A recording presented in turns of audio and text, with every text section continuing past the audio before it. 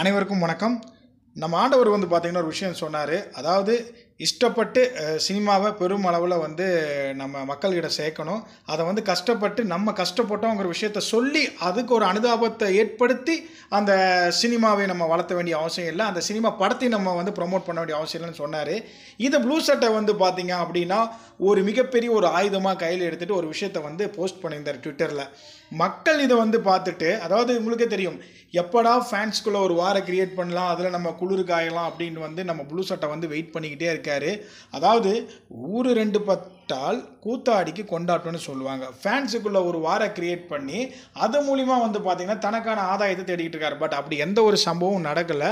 தெளிவாக ஒரு விஷயத்தை வந்து எல்லாருமே சொல்லுது இதுதான். ஆண்டவர் வந்து பொதுவாக தான் இந்த விஷயத்த சொன்னார். உடனே வந்து இந்த பக்கம் வந்து பார்த்தீங்க அப்படின்னா அதாவது இவரை பொறுத்த வரைக்கும் ஏதாவது ஒரு கருத்தை சொல்லிட்டா ஒன்று தளபதியை கோத்துடுவார். இல்லைன்னா ஏகேவை கோத்துடுவார். இல்லைன்னா ரஜினி அவர்களை கோத்துடுவார்.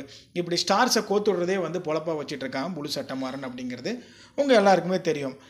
இதில் வந்து என்ன அப்படின்னு ஒரு விஷயம்னா யார் எந்த படத்தையும் ப்ரொமோட் பண்ணுறக்காக தான் கஷ்டத்தை சொல்லி யார் இது வரைக்கும் ப்ரொமோட் பண்ணது கிடையாது. அப்படி பண் அதாவது அப்படி பண்ணியிருந்தாங்கன்னா டெஃபினட்டாக வந்து அவங்க இந்த ஃபீல்டில் இருந்திருக்க மாட்டாங்க. ஓகேங்களா எல்லாமே வந்து அவங்களுடைய கிரேஸுக்கும் அவங்களுடைய ஹார்ட் ஒர்க்குக்கும் தான் வந்து பார்த்திங்கன்னா இன்றைக்கி வரைக்கும் வந்து முன்னாடி இருக்காங்க ஒரு டயர் ஒன் ஹீரோவாக வர்றது அவ்வளோ சாதாரண விஷயம் கிடையாது.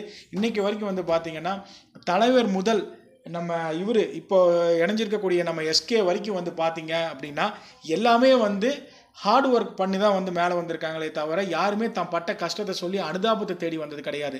தன் உழைப்பு தன் முயற்சி தன்னுடைய திறமையில தான் வந்து இவங்க வந்திருக்காங்க. அதற்கு உதாரணமாக தான் வந்து பார்த்திங்கன்னா டைரோன் ஹீரோஸ் நீங்கள் சொல்ல முடியும். சாதாரணமாக டைரோன் இடத்துக்கு யாருமே வர முடியாது.